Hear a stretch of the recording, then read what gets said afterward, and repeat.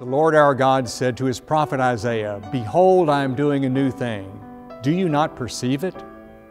Truly, our God is doing a new thing with First Presbyterian Church. For nearly 200 years, this church has served Christ from here in the heart of Tuscaloosa. Look around us, and you will see the heritage, the foundation our church is built upon. But as in the days of Isaiah, God beckons us to look to our future. God is doing a new thing. In the next 12 months, our church will begin its search for a new pastor. For 25 years, my family and I have made this church our home.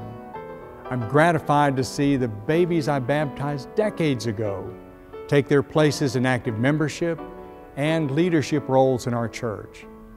I'm in a unique position to talk about the excitement I feel for the future of First Presbyterian. I have seen God's work among us, and I hear God's call. We are nearly 200 years old, but we've only just begun the work our God has in store for us. We've just completed a three year self study that helps us understand our congregation and form our vision for the future. A capital campaign task force took the results of this study, formulated a plan that has been reviewed and approved by session. That plan includes elements to enhance our worship experience, maintain and enhance our church campus as a base for worship and service, and a response to the call to reach beyond our walls to serve others. When you walk in this sanctuary, it's hard to ignore the power of the Holy Spirit that fills this place. But nothing gives us the sense of God's presence and majesty more immediately than the sounds of the Casavant organ.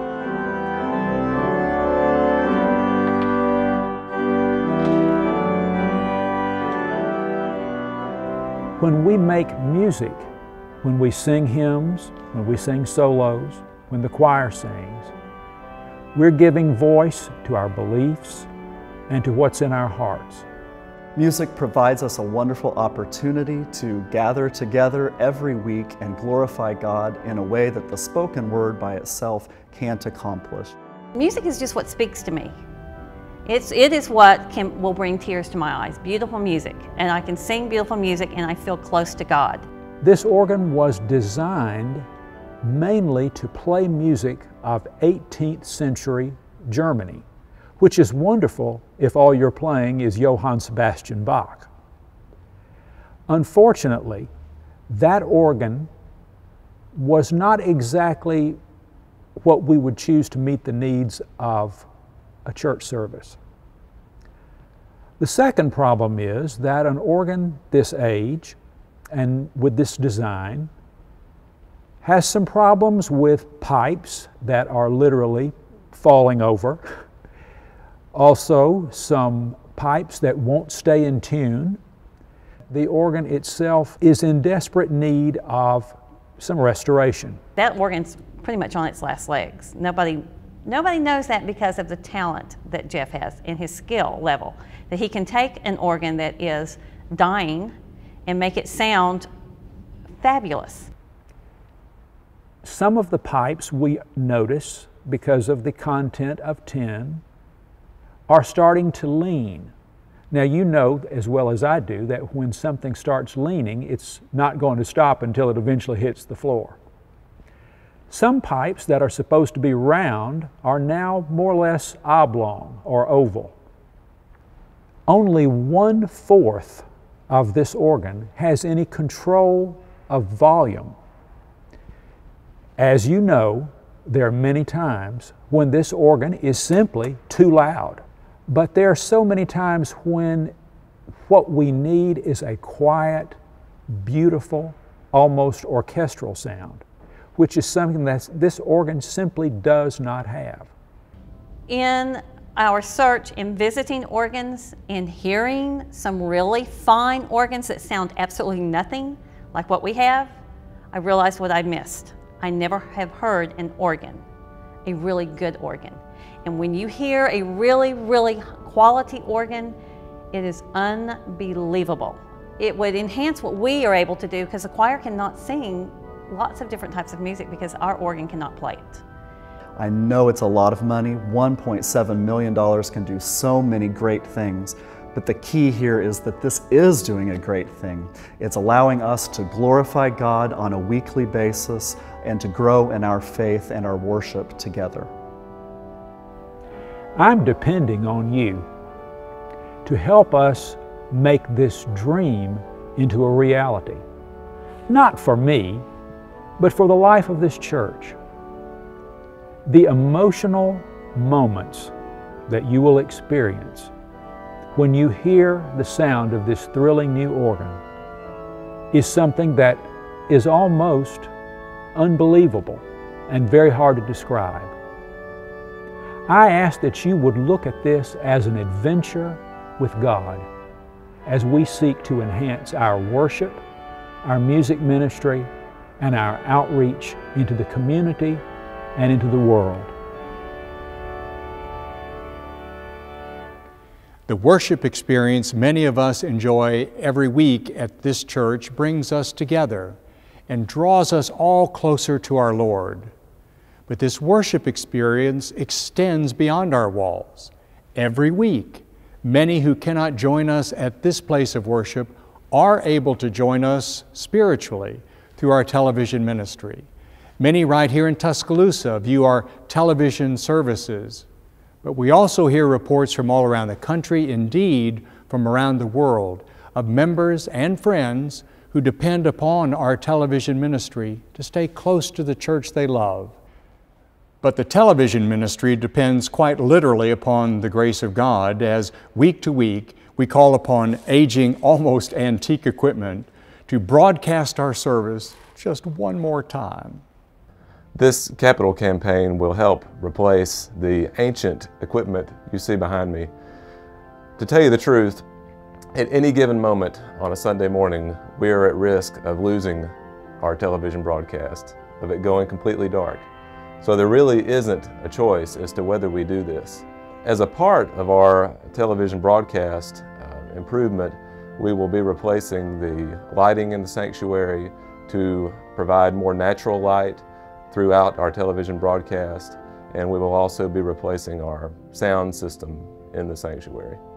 In addition, our capital campaign will allow us to improve our social media presence. It will position us to be able to live stream our television broadcast and reach a wider audience. Um, it will also allow us to substantially improve our website and our membership management database. The beautiful campus where we worship is a testimony to the love, foresight, and sacrifice of generations before us. But with the joy of worshiping and learning here comes the responsibility to maintain this structure and these grounds. This is no small task and no small expense. A portion of our capital campaign effort will be dedicated to maintenance of the capital investment we've already made on this city block.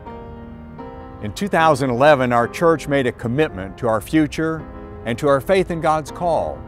In about a year, we'll be required to close on the purchase of the YMCA property across Bryant Drive from the church.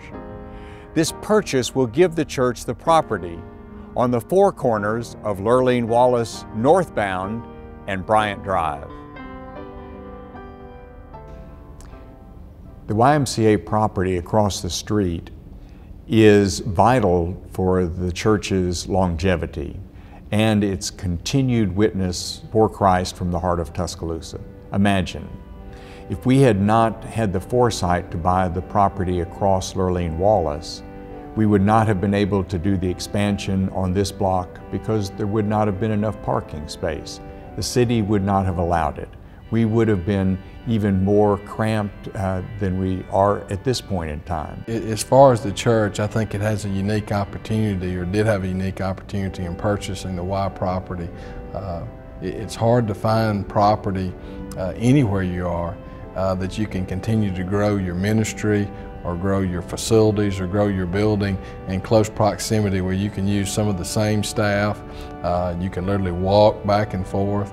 And so when this uh, opportunity came up, I was excited for the YMCA, but I was more excited about the church. I knew we had a place to go and grow in the future. We have observed what happened across Greensboro when probably at one time we had an opportunity to purchase that land. And don't we wish we had? At the very worst, as we have discussed before, there's probably a lot of interest in this property by uh, commercial enterprises. It's uh, in the heart of downtown Tuscaloosa.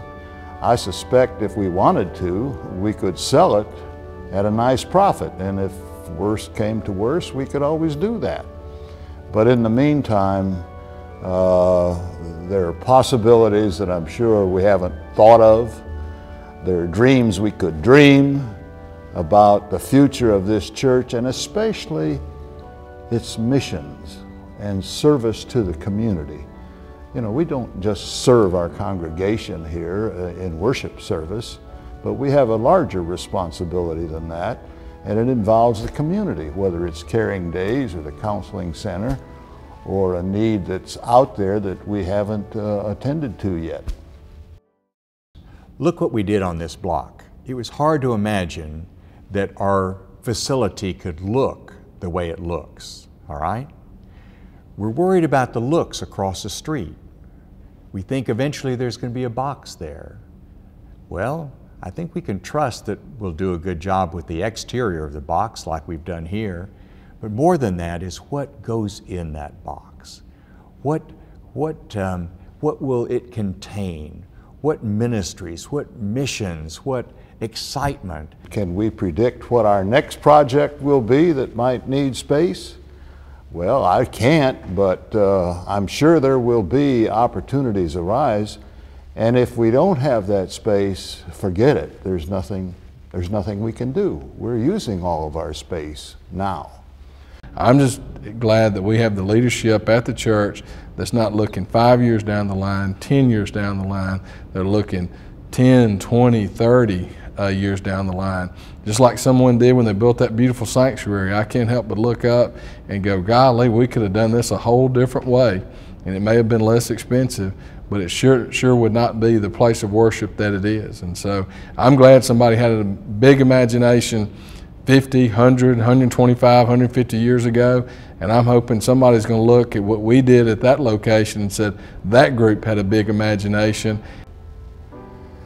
You know, when I, I think about the Y and other developments over time, I'm always reminded of the words of uh, Ernest Williams, who was uh, a pillar of strength in this church, when he would say, well, you know, we enjoy the shade of trees we did not plant. Our forefathers did.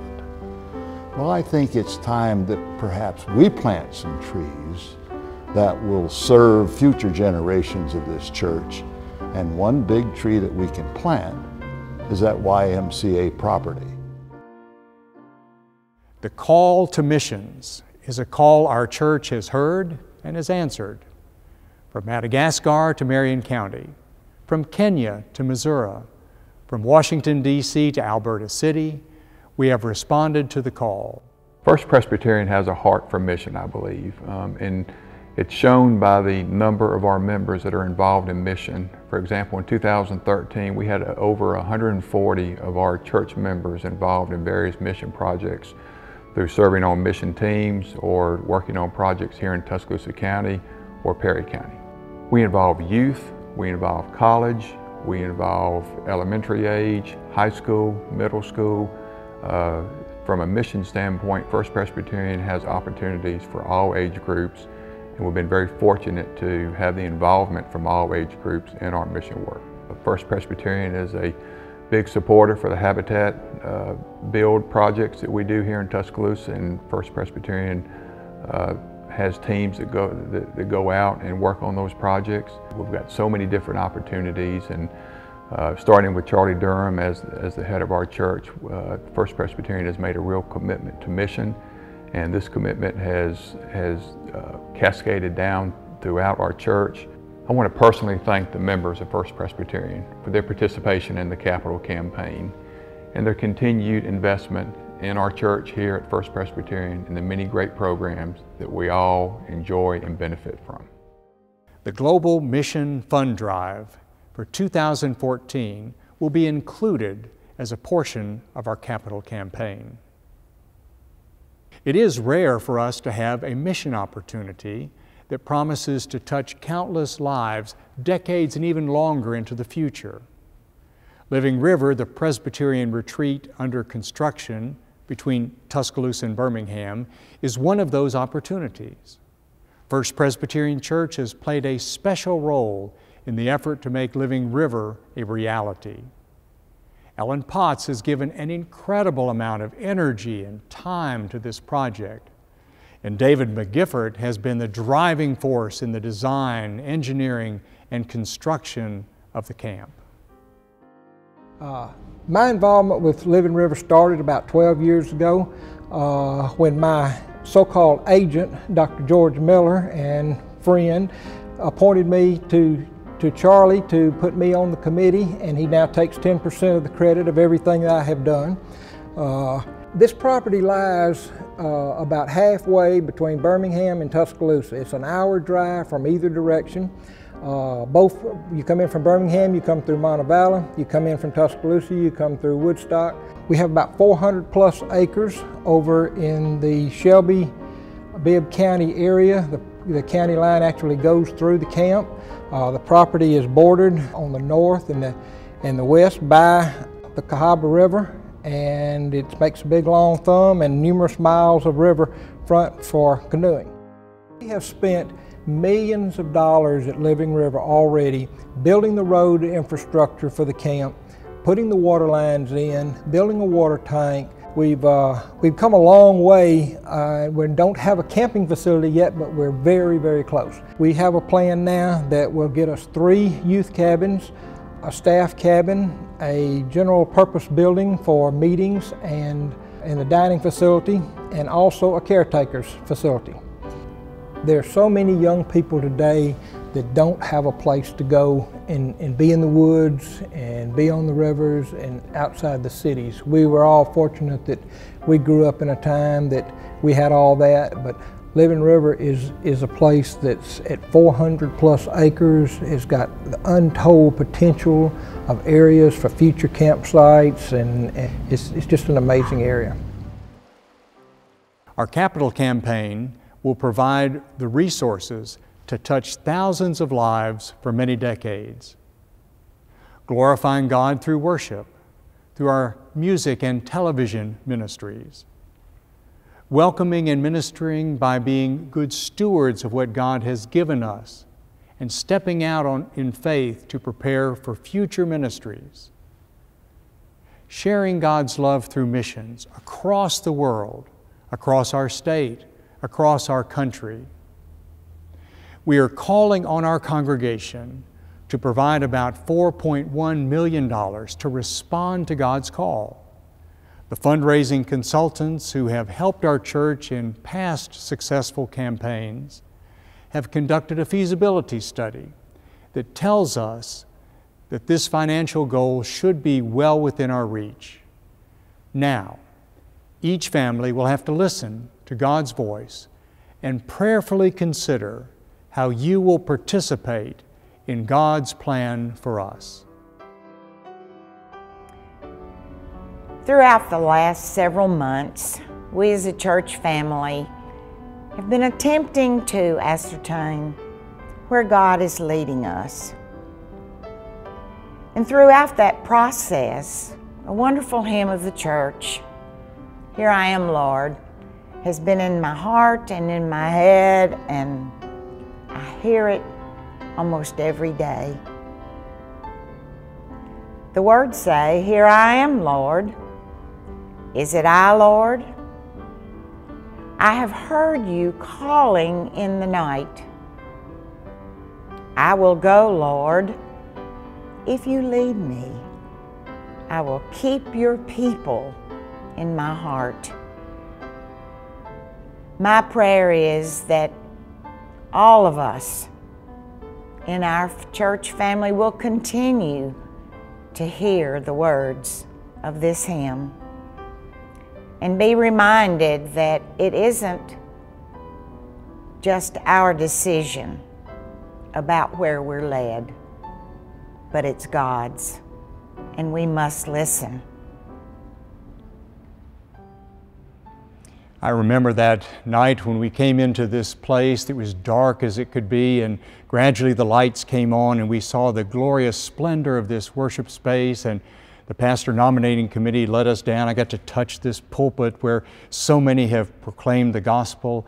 And since that time, it's been blessing after blessing we've experienced together.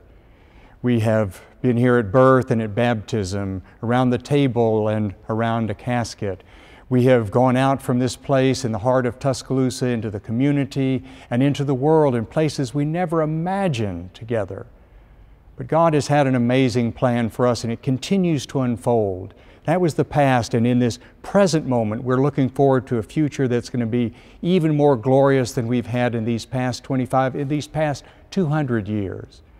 The Lord has so much in store for us, and what's in store for my family and I right now is to sit down and make a, a pledge. We have to decide what the Lord is calling us to do, not what we can do, but what we will do by God's grace. We're going to make that pledge because we know it's a, a, pledge to not only the future of this church, but a future of our home. We, this is our home. You have made this our home church, our home community. We love it here and we love you. And we look forward to growing into that future together. And I know that uh, just as we have been blessed in the past, you will be too. So, you consider this pledge, you make it, you give it to God's glory because God, who began a good work in you, will bring it to completion in the day of Jesus Christ. I know that. I know it in my heart, and you do too. So I leave with you this uh, blessing from the letter to the Ephesians. And now unto Him, who by the power at work within you is able to do far more abundantly than all you can ask or imagine. To Him be glory in the church and in Christ Jesus, now and to all generations. Amen.